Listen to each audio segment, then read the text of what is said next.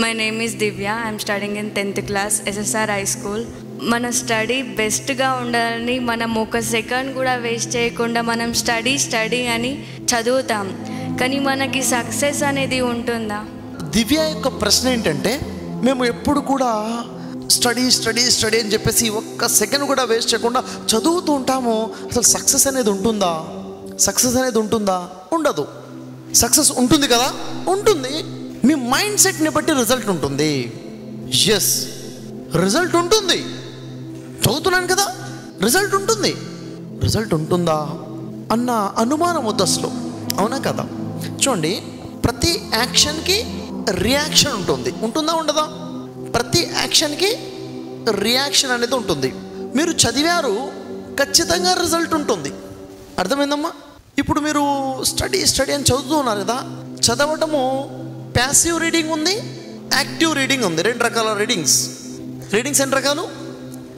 Passive reading active reading ఏంటి తేడా? Passive reading అంటే చదువుతూ ఉంటారు చదువుతూనే ఉంటారు. ఎప్పుడు చూసినా పుస్తకం చేతిలోనే ఉంటుంది. ప్యాసివ్ రీడింగ్ ఏం బుర్రకెక్కదు ఏం అర్థం కావట్లేదు ఫైనల్గా అవుట్పుట్ లేదు no memory no recall active reading అంటే మనము చదివింది అర్థమవుతుంది అర్థమైంది మెమరీలోకి వెళ్తుంది గుర్తుంటుంది. దాన్ని మనం రీకాల్ చేయగలుగుతాము. రీకాల్ చేసింది రాయగలుగుతాం కూడా.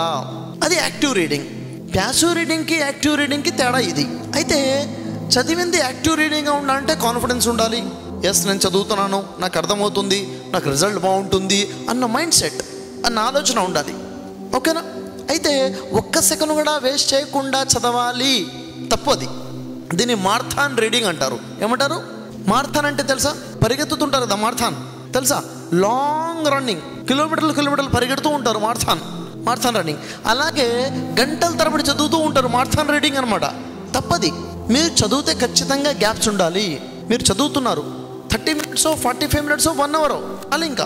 చాలు. ఆపేయండి. ఆపిన తర్వాత ఆ బుక్ వదిలేసి ఆ ప్లేస్ వదిలేసి వేరే ప్లేస్కి వచ్చేయండి. వాకింగ్ చేయండి. ఏదైనా తినండి. ఫ్రూట్స్ తినండి. మీకు ఇష్టమైనది ఏదైనా తినండి. రిలాక్స్ మూడ్లోకి వచ్చేయండి. ఒక వార్మప్ చేయండి. ఓకేనా hand movements leg movements walking చేయండి. బేసిక్ వార్మప్ uh, చేయండి. ఒక కనీసము ఐదు నుంచి పది నిమిషాలు గ్యాప్ తీసుకోండి. మొత్తం కంటిన్యూగా పది గంటలు చదవాలనుకున్నా చదవండి కానీ మధ్యలో బ్రేక్స్ తీసుకుంటూ గ్యాప్స్ తీసుకుంటూ తీసుకున్న గ్యాప్స్ని రిలాక్స్ అవుతూ చదవండి. అర్థమైందా? అలా చదవడం వల్ల ఏమవుతుందంటే చదివింది కాన్సన్ట్రేషన్గా ఉంటుంది. ఎప్పుడు పుస్తకం చేతిలో ఉన్నది మైండ్ ఎక్కడో ఉంది. ఇది ప్యాసివ్ రీడింగ్ మనకొద్దు.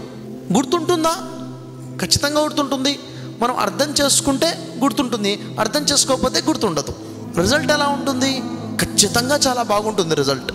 చూడండి రిజల్ట్ చాలా బాగా ఉంటుంది అన్న నమ్మకం ఉంటే ఇంకా బాగా కష్టపడతాం కదా. ఇంకా బాగా చదువుతాం కదా. ఏమో ఎలా ఉంటుందో లేదో. అంటే మనం చదవాలో వద్దో అన్నట్లుగా ఉంటుంది. కాబట్టి అమ్మ ఎప్పుడు కూడా పాజిటివ్ థింకింగ్ చాలా అవసరం. ఏంటిది? పాజిటివ్ థింకింగ్ చాలా అవసరము. ఎస్ నేను చదువుతున్నాను వస్తుంది. రిజల్ట్ బాగుంటుంది అన్న పాజిటివ్ థింకింగ్ కావాలి ఓకేనా?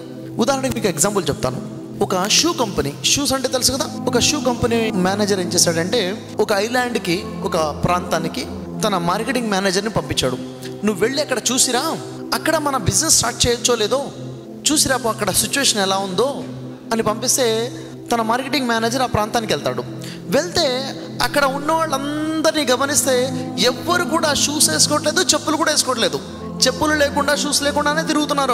ఆ- ప్రాంతంలో ఉన్న వాళ్ళందరూ కూడా. అది చూసి వెనక్కి తిరిగి వచ్చి అంటాడు సార్ వేస్ట్ అండి. మనం అక్కడ మన బిజినెస్ స్టార్ట్ చేసిన వేస్టే ఎవరికి చెప్పులు తొడిగే అలవాటే లేదు షూస్ తొడిగే అలవాటే లేదు. ఎవరు మన షూ కొనరు.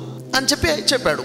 కొంతకాలం తర్వాత మరొక మార్కెటింగ్ మేనేజర్ని పంపించాడు ఓనర్ అతను వెళ్తే సేమ్ సీన్ ఎవరు చెప్పులు వేసుకోలేదు ఎవరు షూస్ వేసుకోలేదు. వెనక్కి తిరిగి త్వర త్వరగా వచ్చాడు. వచ్చి అంటాడు సార్ మంచి స్కోప్ అండి.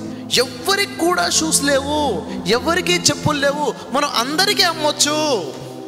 అందరికీ అమ్మొచ్చు. బిజినెస్ స్కోప్ చాలా ఉంది. ఇంక ఏ కంపెనీ కూడా లేదు. మనమే ఫస్ట్గా ఇంట్రొడ్యూస్ చేసిన వాళ్ళం అవుతాము. వెంటనే స్టార్ట్ చేద్దాము అంటాడు. మొదటి వ్యక్తి ఆలోచన ఏంటి? నెగిటివ్గా చూశాడు. అక్కడ అవకాశమే లేదు. ఎవరికి అలవాటు లేదన్నాడు.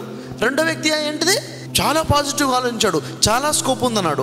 పాజిటివ్గా ఆలోచిస్తే బిజినెస్ ఎక్స్పాండ్ అయింది. నెగిటివ్గా ఆలోచిస్తే బిజినెస్ అక్కడదే ఉండిపోయింది. మనం పాజిటివ్గా ఆలోచిస్తే మన పనులు అలాగే ఉంటాయి రిజల్ట్స్ అలాగే ఉంటాయి. రిజల్ట్ అద్భుతంగా ఉంటుంది అనుకోవాలి. ఓకేనా?